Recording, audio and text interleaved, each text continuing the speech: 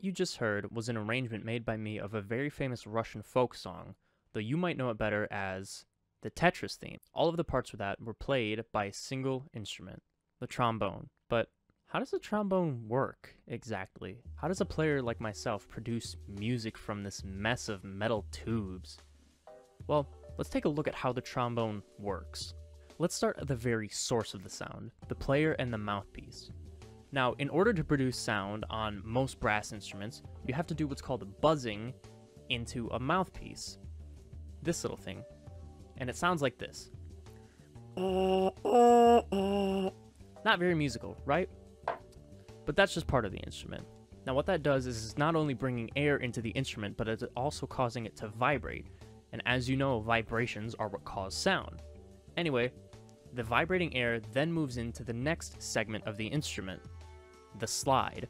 Now, this is the part of the instrument that determines the pitch of the notes that you are playing.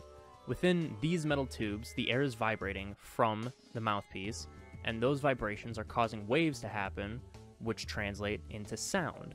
Now, how a slide works is you can either pull the slide out or bring it back in, and doing so will either lower the pitch of the note or bring the note to a higher pitch. The reason this happens is by bringing out the slide, you are then lengthening the distance that the air has to travel, which will lower the sound. Then by doing the opposite, bringing the slide back in, you will actually be shortening the distance that the air has to travel, thus bringing the sound up. Then after this part of the instrument, the air travels to the final part, the bell. Now, this part of the instrument serves two main purposes. The first being that it amplifies your sound. The widened part of the bell adds a considerable amount of volume and it pushes your sound forward. Now, this second purpose can't be served by all trombones. Your trombone must have a certain attachment, which luckily mine does, so I can demonstrate to you.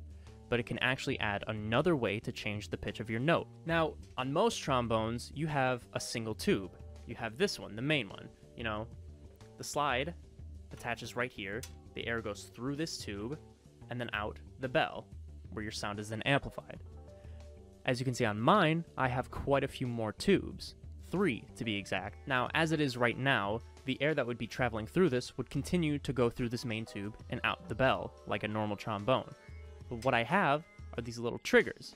Now, when I engage one of these triggers, it will open up one of these valves. That will force the sound to travel through one of these secondary tubes before then going back through the main tube. Now what that does is it actually lengthens the distance that the air must travel so the notes you are playing will be lower. Now this is really useful for trombone players when we have to play notes that are really out there with the slide because instead what we can do is we can bring the slide in but engage one of the triggers.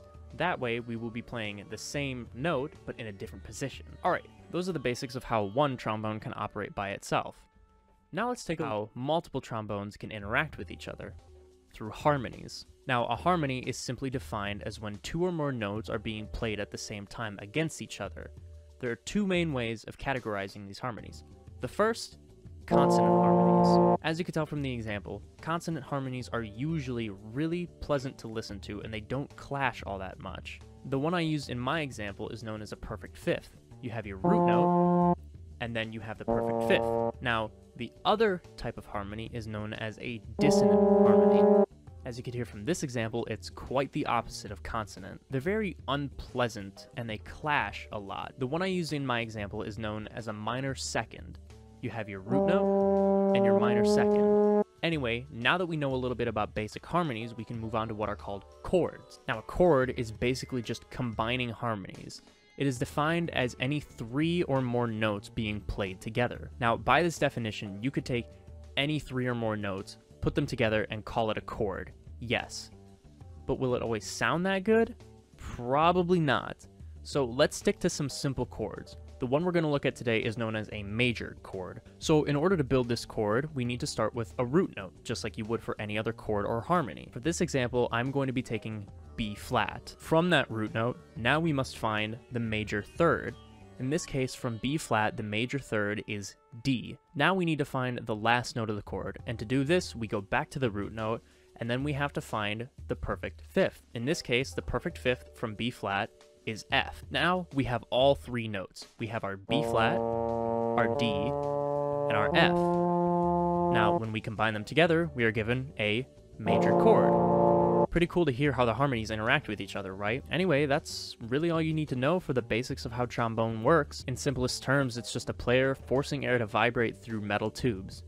And through that, you're given music. Crazy, right? Anyway, that's all I've got for this video, so enjoy my arrangement of the Tetris theme one last time as I walk out. Anyway, see you guys.